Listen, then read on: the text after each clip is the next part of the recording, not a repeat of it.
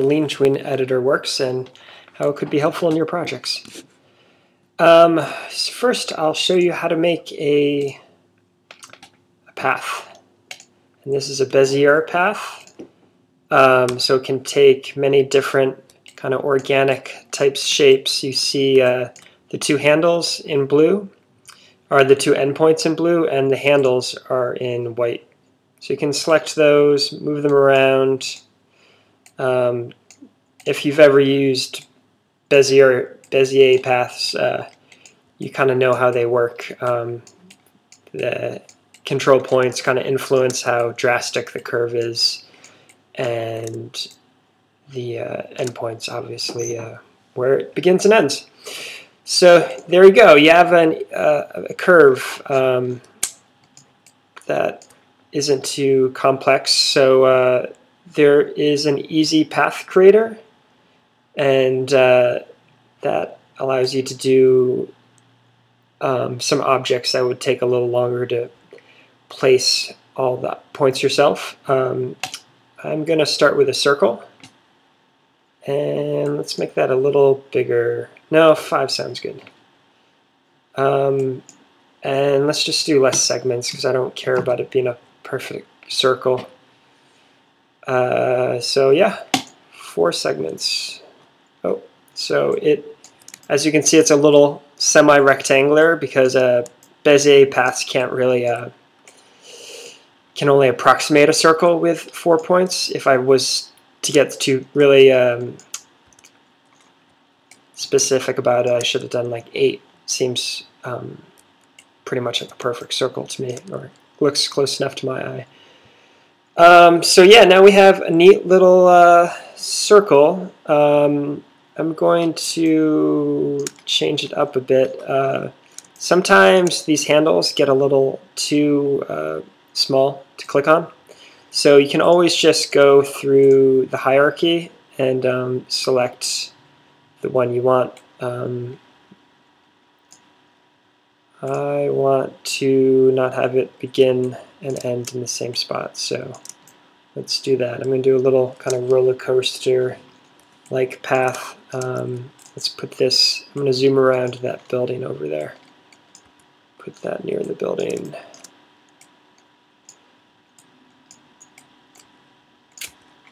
Right, yeah, I'm zooming around that building. That looks cool to me. Um, let's put the last endpoint down a little bit more.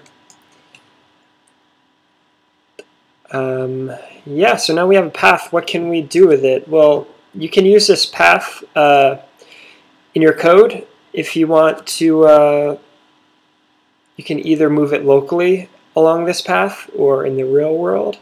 Um, I'm showing other parts about the visual editor, so I'm going to show you how to use the LeanTween visual editor to uh, to animate the camera. I'm going to animate the camera along that path. Um, so I already did a step. Um, you just want to add a group that gets everything started, and then you can name it whatever. Let's say moving camera or you can just keep it the default name. Um, so for Bezier curves, you want those really only work with the move uh, move curved attributes. So I'm just going to click that one. You can also do move, moved curve local. Um, so now I just assign it the path I just created lean tween path. And uh, I want it to orient to the path, and that just means it's going to face along the uh, direction of the path um, while it's moving. Otherwise, it would just stay fixed and keep uh, the rotation um, that it has initially. Uh, linear sounds good. That's just the, um, the easing that's applied. So if I did ease out um, quart, it would start out slow and then get fast towards the end. But um, that might be a little too much, so I'm just going to keep it at linear. Right, let's fire this up. Oh, let's also do like 10 duration because that will be a better speed. Right, get my mug out of the way.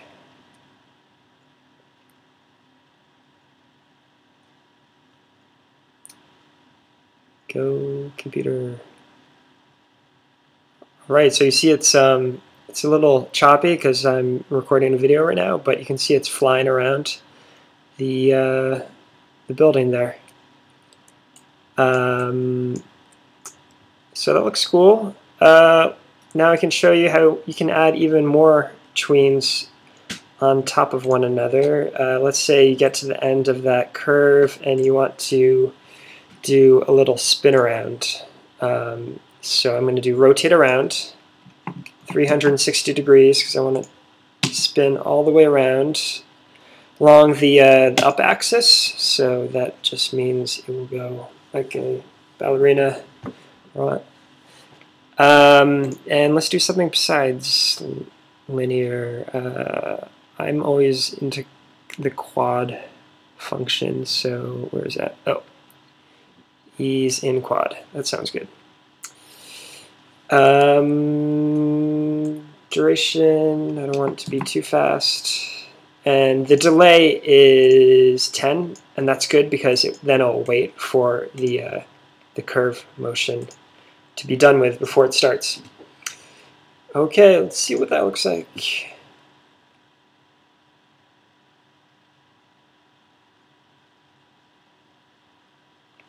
Oh, right, so remember the path part, zooming around the building.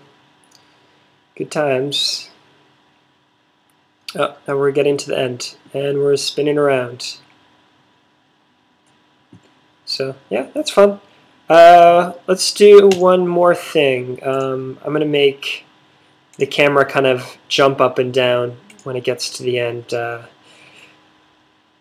I just want to show you how you can easily do a custom animation curve um, with the editor, which I love making my own tween curves. Um, let's have it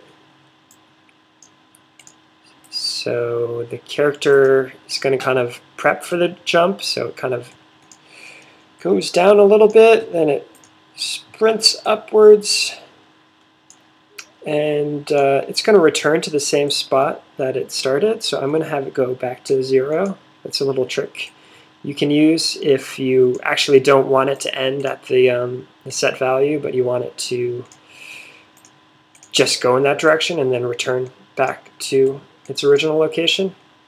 Otherwise, most of the time you want this to go from 0 to 1 because um, you want it to actually follow where you tell it to go to and not just influence a tween.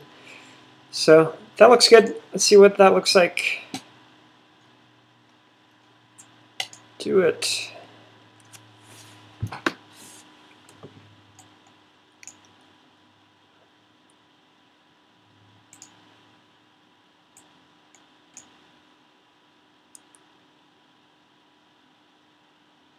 Okay, went around the curve. Now we're doing a little spin around. And then, oh, the jump was kind of crazy looking. Um, I meant it to, so we're at negative 125 there.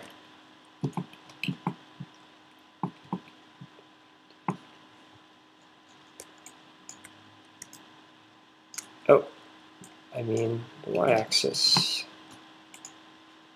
what I want to look at. So we start at 28. I want it to jump, so I would have to go up to like 38 or so. Uh, so defaultly everything is set to zero. So what I did is I had just had it tween to zero, so that um, isn't what we want. We wanted it to just kind of jump upwards and then return to the same point. So uh, let's uh, let's delete those other ones because you don't you've seen those. You don't care about those. Um, so we're just going to start from the beginning and do a little jump.